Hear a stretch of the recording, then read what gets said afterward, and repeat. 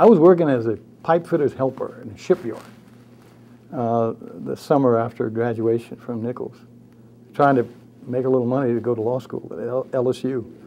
And um, got a call from that state senator where I'd helped get elected uh, to ask me if I would come to Baton Rouge and, and become his aide in the state senate.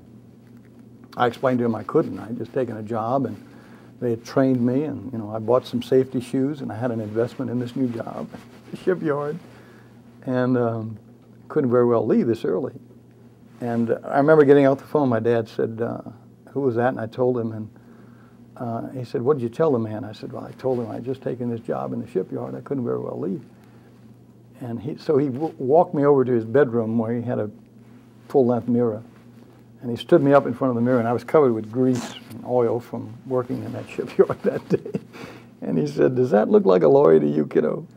And I said, "No, sir." He said, "What are you going to do?" I said, "I'm going to call that fellow up again."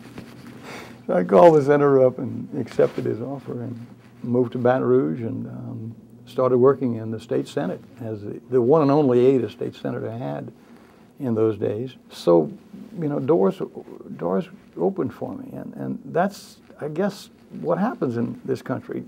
Doors magically open for people of, uh, of you know rather simple means and simple backgrounds, and and suddenly you get a chance to do something extraordinary. And it began there. It began with that that four-year service as an aide in the state senate, uh, graduation from law school, and uh, a determination that I wanted I wanted a career in politics and uh, a decision to run for the state house in 1971.